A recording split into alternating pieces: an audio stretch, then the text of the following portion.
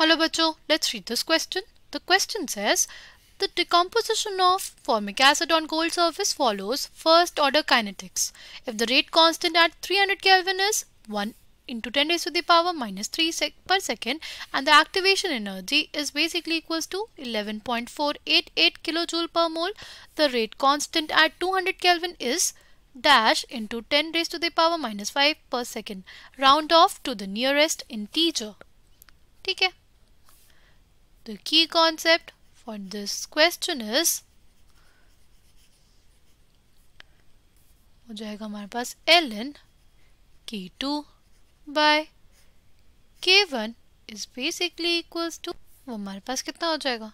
वो हमारे पास बेसिकली हो जाएगा E A by R into one upon T one minus one upon T two ठीक है?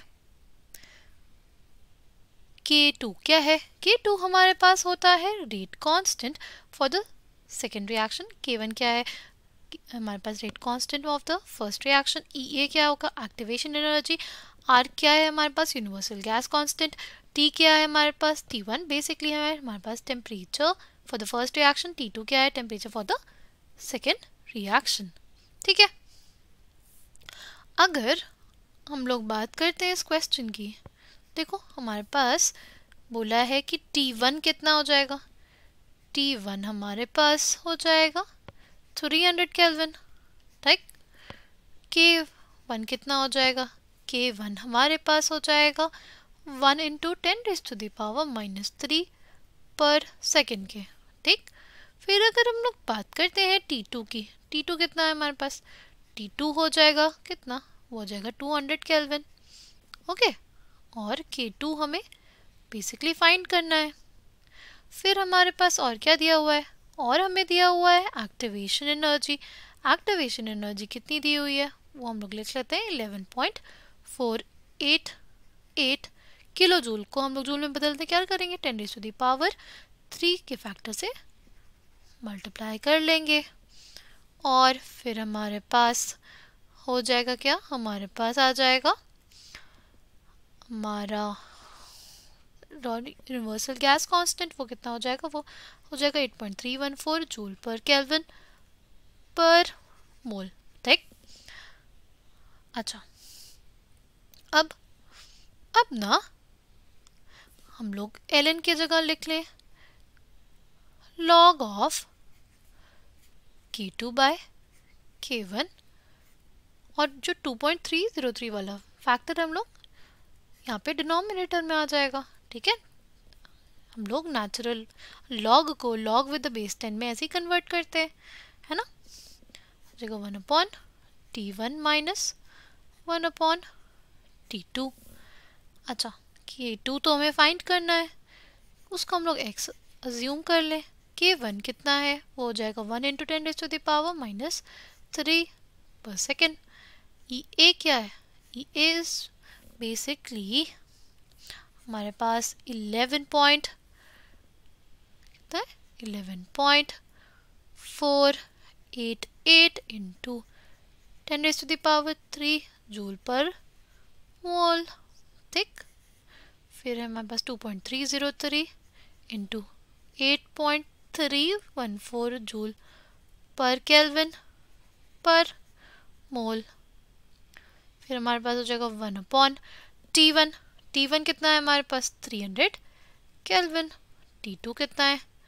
वो हमारे पास टू हंड्रेड केल्विन तो देखो, क्या होगा? अब हमारे पास जूल से जूल कट गया पर मोल से पर मोल कट गया, पर केल्विन से बेसिकली हमारे पास ये केल्विन वाले टर्म्स कैंसिल हो जाएँगे। तो क्या आ जाएगा हमारे पास? हमारे पास हो जाएगा लॉग x है आ गया eleven point four eight eight into ten raise to the power three by two point three zero three into eight point three one four कितना हो जाएगा? मेरे पास आ जाएगा two hundred minus three hundred by कितना आ जाएगा? थ्री हंड्रेड इंटू 200 देख बस हो जाएगा log X by ten raise to the power minus three is equals to eleven point four eight eight into ten raise to the power three two point three zero three into eight point three one four कितना जाएगा? ये आ जाएगा minus hundred ये कितना आ जाएगा? कुछ ऐसा? राइट अब क्या करेंगे? ये दो ज़ीरो हमारे पास कैंसिल हो जाएँगे। ये दो ज़ीरो ऐसे कैंसिल हो जाएँगे। ठीक? तो हमारे पास क्या आ जाएगा? हमारे पास आ जाएगा log 1000 x is basically equals to minus of 11.488 into 10 by 2.3